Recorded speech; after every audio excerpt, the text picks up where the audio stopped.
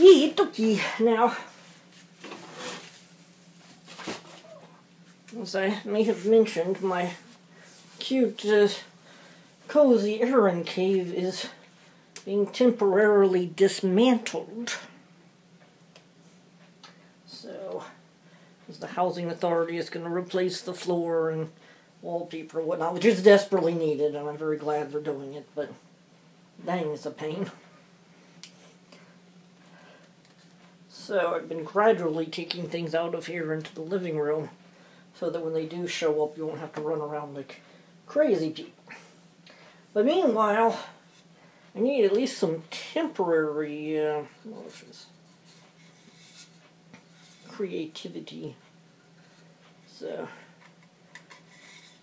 totally and completely wackadoodle. So, have the, the teal blue candlestick and I've now put some black acrylic paint on it and now I'm going to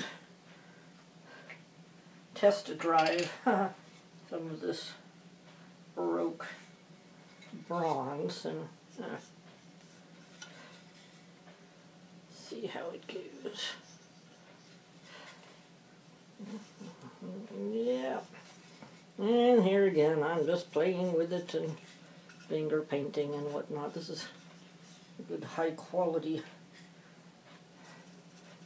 paint, so it's a little bit goes a long way. By high quality, I mean there's a lot of the pigment, the cool color in it, so you, you don't have to use a whole bunch. To get a good effect. Yep. See. Do do do. Yeah, I think that actually will come out pretty nifty if you can see what I've done so far.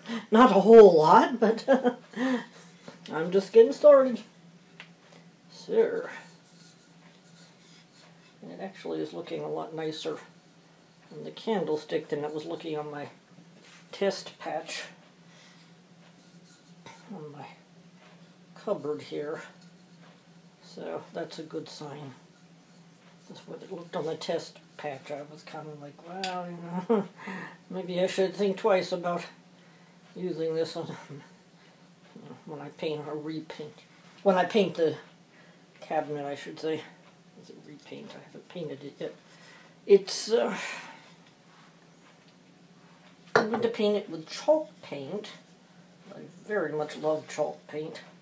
I'm going to prime it first though because for one thing this is fir and I don't want any bleed through and for another thing, you know. uh, this poor thing has seen better days and so primer can help. It's got these huge gouges in it. And there's a story behind that. My neighbor literally lives right across the hall from me in my apartment complex asked me if I wanted this and she, I could have it totally for free. And I was like, yeah, that's really cool. I def, def, definitely want it. But, I'm trying to explain, I couldn't fetch it right then because it's too heavy for one person and my neighbor is uh, kind of sickly. So I didn't want her trying to move it. And I just meant I couldn't fetch it right then, as in I had to wait for Harry to get off work and come home and help me. But she didn't understand that, and so she thought I meant like I can't have it now, maybe next week, and she was in a hurry to get rid of it. So she and a friend of hers took the thing out to the trash uh, building where we have our trash and recycle, and of course I was horrified when I found that out, and I was like, no, no, no, I want it. So then Harry and I had to go fetch it back from the trash building. and it wasn't banged up, which is actually totally okay because, for one thing, if it was too shiny and new looking, I would have to worry about, oh, what if I mess it up? But, you know, it's banged up already, so I don't have to worry. So in that sense, it's just as well, but Lord knows what the other neighbors thought of us carrying the same pieces of furniture back and forth. And so. But we got the misunderstanding straightened out, and I am extremely happy with this cupboard because it gives me a place to put my art supplies. And I was desperately in need of can put things away and it's a good height if I'm standing and doing something. But it also works well with a chair if it's like a bar stool kind of chair. A little bit more here. And as you can see, I'm doing this very, very rough.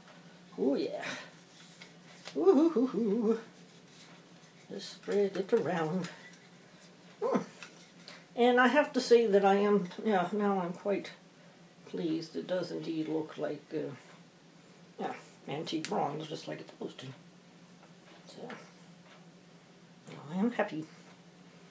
Because, as I mentioned here on the cupboard, let's see, I can turn this camera a wee bit. I'm going to paint the cupboard this kind of lime green. It's called green tea. And uh, then also use some khaki here. This primer, of course. No, I don't get any uh, kickback from Autentico for uh, having their uh, product in the video or anything like that. It's just uh, happens to be what I'm using. And I've been very happy with the quality. There's probably other brands that are just as good, but, you know, if it ain't broke, don't fix it. So, and I also have their uh, vintage uh, bronze highlight, so it'll be lime green. Pick out the details of the khaki, and then with the bronze, because as you can see, we have, uh, can't see it that well. we've got knobs and we've got bits and bobs, so to speak. Knobs and bits and bobs, and so they will look nice when they're different colors and, and show it off a little bit. Mm -hmm.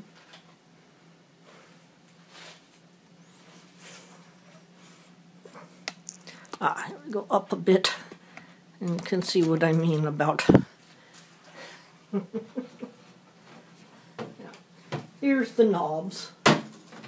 Here's the bits and bobs. There's a little railing here. and You can actually have a shelf in the middle, but I have all these tall things here, so I don't have the shelf there.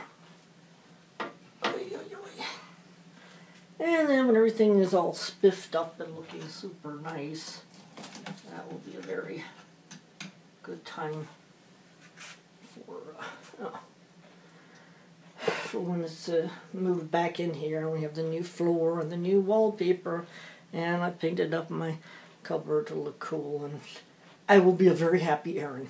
Let's just put it that way. So, hold this up a little closer. Like I said, it's a very, very uh, sloppy. This is quick drying, but even so, I'm going to let it sit a little bit. And, hmm, I me put some, uh, some more black on here inside the creases or whatever you want to call them. But not sure. That, that's one of the good things about putting things down and not just like letting the paint dry, but it also gives you a chance to uh, ponder the matter, to go away, and then come back look at it, say, an hour later with fresh eyes.